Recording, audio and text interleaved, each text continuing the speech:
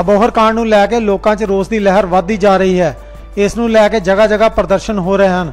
ਹੁਸ਼ਿਆਰਪੁਰ 'ਚ ਦਲਿਤ ਸਮਾਜ ਵੱਲੋਂ ਅਲੱਗ-ਅਲੱਗ ਜਥੇਬੰਦੀਆਂ ਨੂੰ ਨਾਲ ਲੈ ਕੇ ਜਿੱਥੇ ਪੰਜਾਬ ਸਰਕਾਰ ਖਿਲਾਫ ਪ੍ਰਦਰਸ਼ਨ ਕੀਤਾ ਗਿਆ, ਉੱਥੇ ਦੁਕਾਨਦਾਰਾਂ ਨੂੰ ਦੁਕਾਨਾਂ ਬੰਦ ਰੱਖਣ ਦੀ ਅਪੀਲ ਵੀ ਕੀਤੀ ਗਈ। ਉਹਨਾਂ ਦੀ ਇਸ ਅਪੀਲ ਨੂੰ ਮੰਨਦੇ ਹੋਏ ਦੁਕਾਨਦਾਰਾਂ ਵੱਲੋਂ ਸਵੇਰੇ 10 ਤੋਂ 12 ਵਜੇ ਤੱਕ ਬਾਜ਼ਾਰ ਬੰਦ ਰੱਖੇ ਗਏ।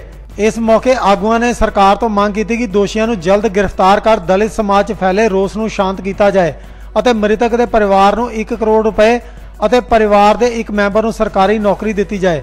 ਵਾਲਮੀਕੀ ਜਥੇਬੰਦੀ ਦੇ ਪਵਨ ਕੁਮਾਰ ਭੱਟੀ ਨੇ ਕਿਹਾ ਕਿ ਅਗਰ ਮੁੱਖ ਦੋਸ਼ੀ ਸ਼ਿਵਲਾਲ ਡੋਡਾ ਨੂੰ ਪੁਲਿਸ ਨੇ ਤੁਰੰਤ ਗ੍ਰਿਫਤਾਰ ਕਰ ਜੇਲ੍ਹ 'ਚ ਬੰਦ ਨਾ ਕੀਤਾ, ਤਾਂ ਦਲਿਤ ਸਮਾਜ ਪੂਰੇ ਪੰਜਾਬ 'ਚ ਚੱਕਾ ਜਾਮ ਕਰ ਪ੍ਰਦਰਸ਼ਨ ਕਰਨ ਲਈ ਮਜਬੂਰ ਹੋਵੇਗਾ ਅਤੇ ਇਸ ਦੀ ਸਾਰੀ ਜ਼ਿੰਮੇਵਾਰੀ ਪੰਜਾਬ ਸਰਕਾਰ ਦੀ ਹੋਵੇਗੀ।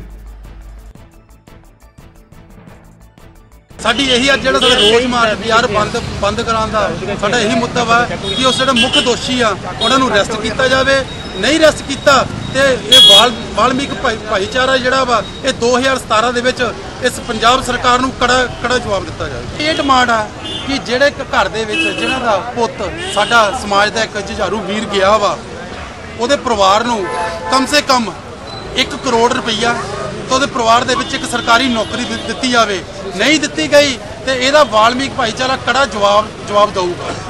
ਇਹ ਰੋਸ ਮਾਰ- ਕਾਰਨ ਹੈ ਕਿ ਜਿਹੜਾ ਕਿ ਅਬੋਰ ਵਿੱਚ ਸਾਡਾ ਇੱਕ ਭਰਾ ਭੀਮ ਟਾਕ ਸੀ, ਜਿਹਦੀ ਬਹੁਤ ਹੀ ਦਰਦਨਾਕ ਮੌਤ ਦਿੱਤੀ ਗਈ। ਉਸ ਦੇ ਸੰਬੰਧ ਵਿੱਚ ਕੱਢਿਆ ਜਾਊਗਾ। ਅਸੀਂ ਸਰਕਾਰਾਂ ਨੂੰ ਇਹ ਮੈਸੇਜ ਦੇਣਾ ਚਾਹੁੰਦੇ ਆ, ਜੋ ਅੱਜ ਦੇ ਟਾਈਮ ਦਲਿਤਾਂ ਨਾਲ ਇਦਾਂ ਨਜਾਇਜ਼ ਕਰੂਗੇ ਦਲਿਤ ਭਰਾ ਕੋਈ ਵੀ ਉਹਨਾਂ ਦੇ ਹੱਕ ਵਿੱਚ ਨਹੀਂ ਖੜਾ ਹੋਊਗਾ।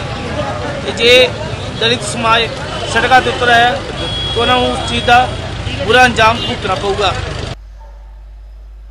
ਹੁਸ਼ਿਆਰਪੁਰ ਤੋਂ ਮੁਕੇਸ਼ ਬੰਗੜ ਦੀ ਰਿਪੋਰਟ ਪੰਜ ਆਪ ਟੁਡੇ।